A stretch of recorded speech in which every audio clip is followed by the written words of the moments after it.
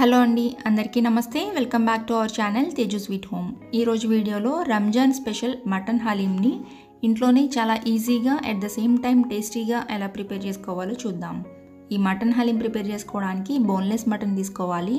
ఇక్కడ నేను five hundred grams mutton తీసుకున్నాను. మటన్ని నీట్గా క్లీన్ చేసుకుని మ్యారినేట్ చేసుకోవడానికి దీనిలో వన్ స్పూన్ ఉప్పు హాఫ్ టేబుల్ స్పూన్ పసుపు వన్ స్పూన్ కారం one spoon garam masala one spoon అల్లం వెల్లుల్లి పేస్ట్ వన్ స్పూన్ పెరుగు వేసుకుని మొత్తం ఒకసారి బాగా కలుపుకొని ఫ్రిడ్జ్లో హాఫ్ అన్ అవర్ పాటు ఉంచాలి.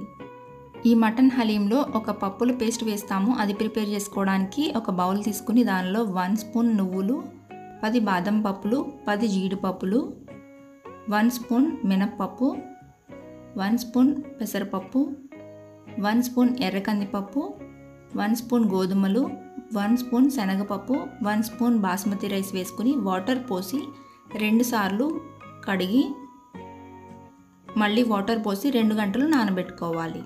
దీనిలో నువ్వులు వేసాం కదా కడిగేటప్పుడు స్ట్రైనర్ పెట్టుకుని వాటర్ని స్ట్రెయిన్ చేసుకుంటే నువ్వులు వాటర్తో పోకుండా ఉంటాయి. ఇదంతా కష్టం అనుకుంటే కుక్కర్లో వేసి కుక్ చేసేటప్పుడు నువ్వులు వేసుకున్నా సరిపోతుంది. రెండు గంటలు నానిన తర్వాత ఈ విధంగా కుక్కర్లో వేసుకుని మీడియం ఫ్లేమ్లో త్రీ విజిల్స్ వచ్చేంత వరకు కుక్ చేసుకోవాలి. త్రీ విజిల్స్ వచ్చిన తర్వాత స్టవ్ ఆఫ్ చేసుకుని పూర్తిగా చల్లారిన తర్వాత ఈ పేస్ట్ని గరిటతో స్మాష్ చేసుకుని పక్కన పెట్టుకోవాలి. నెక్స్ట్ ఇప్పుడు ఫ్రైడ్ ఆనియన్స్ ప్రిపేర్ చేసుకోవడానికి టూ మీడియం సైజ్ ఆనియన్స్ తీసుకుని ఈ విధంగా స్లైసెస్ లాగా కట్ చేసుకుని స్టవ్ మీద ఒక బౌల్ పెట్టుకుని రెండు స్పూన్లు నూనె వేసుకుని ఈ కట్ చేసుకున్న ఆనియన్స్ వేసి మీడియం ఫ్లేమ్లో గోల్డెన్ బ్రౌన్ కలర్ వచ్చేంత వరకు కలుపుకుంటూ ఫ్రై చేసుకుంటూ ఉండాలి. ఈ విధంగా గోల్డెన్ బ్రౌన్ కలర్ వచ్చిన తర్వాత దీన్ని పక్కన పెట్టుకుని స్టవ్ మీద కుక్కర్ పెట్టుకుని రెండు స్పూన్ల నూనె వేసుకుని దీనిలో రెండు దంచిన ఇలాచి నాలుగు లవంగాలు రెండు ఇంచుల దాల్చిన చెక్క పది మిరియాలు వన్ స్పూన్ జీలకర్ర కొన్ని ఫ్రైడ్ ఆనియన్స్ వేసుకుని ఫ్రై చేసుకోవాలి.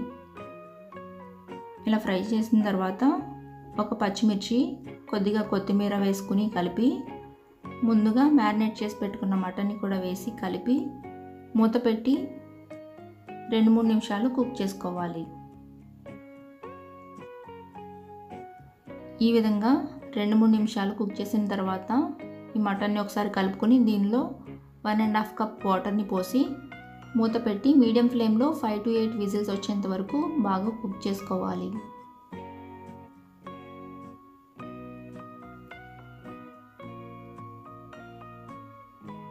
ఈ విధంగా కుక్ చేసిన తర్వాత స్టవ్ ఆఫ్ చేసి పూర్తిగా చల్లారిన తర్వాత ఈ మటన్ మొత్తాన్ని మిక్సీ జార్లో వేసుకుని స్మూత్గా బ్లెండ్ చేసుకోవాలి. ఈ విధంగా స్మూత్గా బ్లెండ్ చేసుకుని పక్కన పెట్టుకుని నెక్స్ట్ స్టవ్ మీద ఒక పాన్ పెట్టుకుని మూడు స్పూన్ల నెయ్యి వేసుకుని దీనిలో బ్లెండ్ చేసి పెట్టుకున్న మటన్ పేస్ట్ పప్పుల పేస్ట్ కూడా వేసుకుని రెండు బాగా కలుపుకోవాలి. ఈ విధంగా కలిపిన తర్వాత దీనిలో వన్ స్పూన్ గరం మసాలా రుచికి సరిపడా ఉప్పు కూడా వేసుకుని మొత్తం ఒకసారి బాగా కలుపుకోవాలి.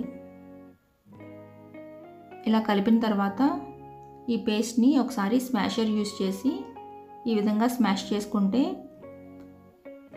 పేస్ట్ అనేది స్మూత్గా ఉంటుంది. ఇప్పుడు దీన్ని ఫైవ్ మినిట్స్లో ఫ్లేమ్లో కుక్ చేసుకున్న తర్వాత ఫ్రైడ్ ఆనియన్స్ కొద్దిగా కొత్తిమీర రెండు స్పూన్లు నెయ్యి వేసుకుని మొత్తం ఒకసారి కలిపి ఈ హలీంని ఒక బౌల్లోకి ట్రాన్స్ఫర్ చేసుకోవాలి.